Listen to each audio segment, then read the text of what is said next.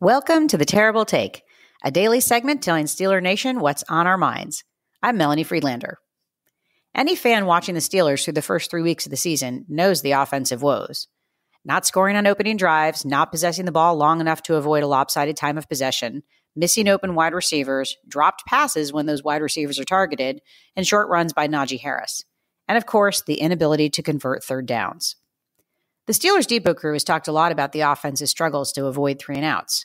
They currently own an unacceptably low success rate of 33%.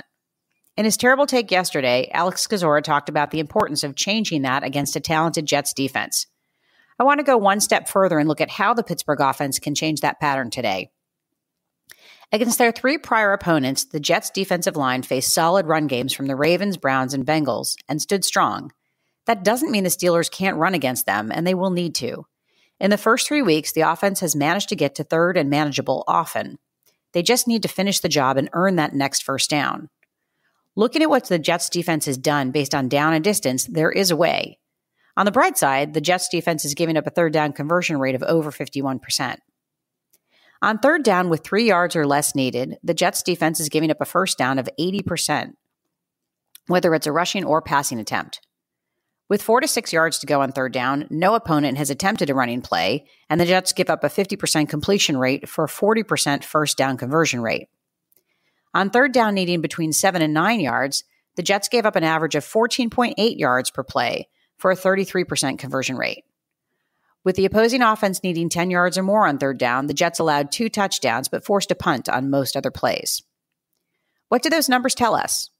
In order to produce sustained drives that will hopefully result in touchdowns rather than field goals, or even worse, a punt, the Steelers don't need to dramatically change what they're doing on first and second down.